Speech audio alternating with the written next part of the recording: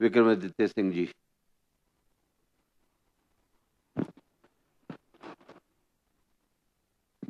माननीय उपाध्यक्ष महोदय, मैं आज, जो माननीय मुख्यमंत्री जी ने 2024-25 के बजट अनुमान विधानसभा की सभा पटल के ऊपर पेश किए हैं, उसके ऊपर मैं चर्चा करने के लिए आज आपके बीच में उपस्थित हुआ हूँ और मुझे बहुत गर्व के साथ और गर्व के साथ साथ बहुत संतोष के साथ साथ ये कहने का शुभ अवसर मिल रहा है कि मैं हमेशा सही को सही और गलत को गलत बोलने में विश्वास रखता हूँ and I always make it a point that whatever I am saying is corroborated by facts evidence and figures. जो ये बजट माननीय मुख्यमंत्री जी ने पेश किया है, ये विपरीत परिस्थितियों में, जो प्रदेश की काले बादल वित्तीय संकट के प्रदेश के ऊपर छाए हुए थे, जिसके लिए हालाँकि पिछले एक साल में बहुत से निर्णायक और अनप्रेसिडेंटेड कदम उठाए गए हैं कि किस तरीके से हम प्रदेश की आर्थिक स्थिति को प्रदेश के अर्थव्यवस्था को बेहतर करे, उसके लिए लिए गए।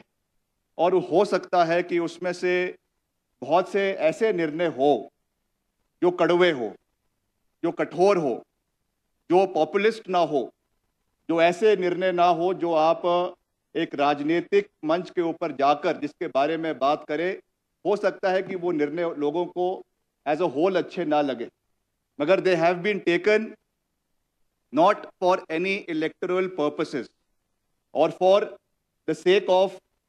the populist measure of the government, but they have been taken in the larger interest of the state. प्रदेश की आर्थिकी को अगले 10, 15, 20 साल के लिए मज़बूत करने के लिए ये निर्णय मुख्यमंत्री जी ने सभी कैबिनेट के हमारे सदस्यों के साथ अपने विधायकों के साथ चर्चा करने के बाद लिए है और मुझे खुशी है कि इस इस वित्तीय वर्ष का जो budget annual budget for for the year 2024-25 जो पेश किया गया है 558,444 करोड़ का an increase of 9.5 percent from the previous budget of rupees 53,430 crore growth rate जो इस साल अनुमानित की गई है वो 7.1 percent as compared to 6.9 percent of the last financial year in spite of unprecedented calamities जो प्रदेश के अंदर हमको देखने को मिली। हमको जो मेरा विभाग है खास करके वो इसका सबसे बड़ा भुगत भोगी प्रदेश के अंदर रहा है। प्रदेश में जिस तरीके से आपदा काल प्रदेश के अंदर आई और अनुमानित किया गया कि अराउंड 15,000 करोड़ का नुकसान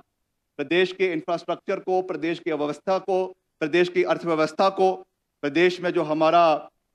इंडस्ट्रीज़ है प्रदेश में हमारा आ, जो हमारी सड़कें हैं उनको हुआ है। इसके बावजूद उससे एक इसी वित्तीय वर्ष में बाहर निकलने का जो काम सरकार ने किया है और जो मैंने ये आंकड़े कहे हैं मैं समझता हूँ कि ये अपने आप में हमको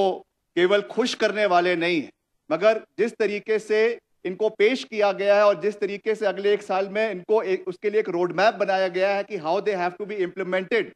in various sectors in the state उस चीज़ को भी हम उसके ऊपर भी हम पूरी मजबूती से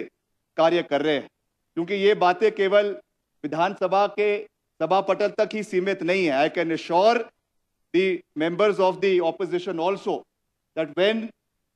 these measures have been taken अलग अलग जो चीज़ें, अभी मैं उसके ऊपर एक बर्ड्स आई व्यू के साथ बात करूँगा, क्योंकि मैं इन डिटेल हर चीज़ के बारे में नहीं कहना चाहता हूँ। It is a very holistic budget जिसमें ऐसी कोई भी कैटेगरी प्रदेश के अंदर नहीं है, जिनको इसके ऊपर कवर नहीं किया गया है। जैसा मैंने कहा कि this is against the national growth जो मैंने ये कहा कि this is against the national growth of seven percent per capita income stand at two lakh thirty five thousand one hundred and ninety nine which is the highest in northern India अगर हम जो है दक्षिण पूर्वी भारत की बात करें तो उसमें हाईएस्ट जो है वो पर कैपिटा इनकम हिमाचल प्रदेश को दर्शाता है, जो एक बहुत ही बेहतरीन कार्य और बेहतरीन सोच के साथ इस बजट इस बजट को प्रस्तुत किया गया है। Budget initiatives of state is to make state green state, improvement in education sector and promoting the rural economy of the state the main emphasis and highlights are agriculture horticulture infrastructure animal husbandry education health and digitization और सबसे बड़ी बात जो free health care to people above 70 years of age and free education to children of widows up to age of 27 years ये जो पिछली बारी एक मुख्यमंत्री जी ने सुख आश्रय योजना प्रदेश के अंदर शुरू करी थी। उसके बारे में उन्होंने भी कई बार इस सदन में ज़िक्र किया है कि किस नज़रिए से इसको इसको प्रदेश के अंदर उतारा गया, किस तरीके से हमारे अंडर प्रिवलेज यूथ प्रदेश का, जिनके कोई माता नहीं है, जिनके कोई पिता नहीं है and they were adopted as wardens of the state उनके उनके लिए जो कार्य किया गया, उसी कदम को एक और नई ऊंचाई पर ले जाने के लिए वन स्टेप अहेड ये कदम जो मैंने कहा है ये लिया गया है जो विडोज के बच्चों को यहाँ पे फ्री एजुकेशन 27 साल तक देने की बात है ये एक अच्छा निर्णय सरकार की ओर से लिया गया है जिसके लिए हम इनकी जो है वो प्रशंसा करना चाहते हैं। और साथ ही साथ जो हमारा प्रदेश का एक्सपेंडिचर है उसके ऊपर भी मैं जो है ज़िक्र करना चाहूँगा। 24-25 में 2024-25 में जो estimated 52,965 crore,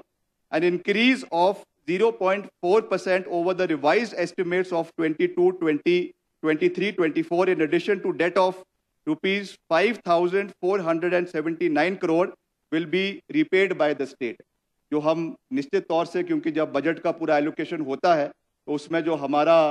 हमने लोन अलग अलग एजेंसी से लिया हुआ है उसको देना उसकी देनदारी भी करना हमारे लिए प्राथमिकता है। और वैसे ही जो हमारी रिसीट्स आई है इस साल for twenty four twenty five they are estimated to be forty two thousand one hundred and one hundred and eighty one crore जिसमें भी फोर पॉइंट टू परसेंट की इंक्रीज हमारे रिसीट्स uh, में इस बारी आई है जो एक्सक्लूडिंग बोरोइंग्स है। तो ये हमारे लिए एक uh, अच्छी बात है मगर मैं चिंता भी व्यक्त कर रहा हूँ कि हमारा रेवेन्यू डेफिसिट प्रदेश का 2024-25 का जो एस्टिमेटेड है that is around two percent of the grey gross state domestic product which stands at around rupees 4,513 crore, lower than the revised estimates of 20 uh, of 22 or 22 24 that is 2.64% of GSDP in 22 20 uh, 23 24 the, the revenue deficit is expected to be 16.5% higher than the budget estimate. तो ये निश्चित तौर से क्योंकि मैं वैसे तो कोई बहुत बड़ा इकोनॉमिस्ट नहीं हूँ मगर ये हमारे लिए being part of the government हमारे लिए एक चिंता का विषय है कि किस तरीके से हमको अपने आय के स्रोतों को बढ़ाना है, उसके बारे में जैसा अभी विस्तृत में चर्चा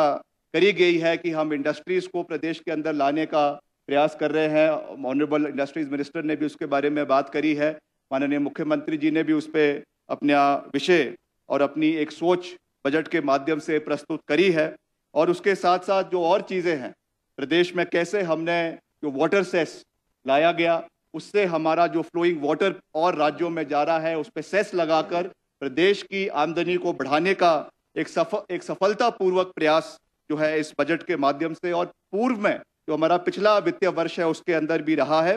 और जो अगर हम हाइलाइट्स की इस बजट के अंदर बात करें नेचुरल फ़ार्मिंग के अंदर Rajiv Gandhi Prakritik Kheti startup Yojana was announce to promote natural farming maximum of 20 quintals of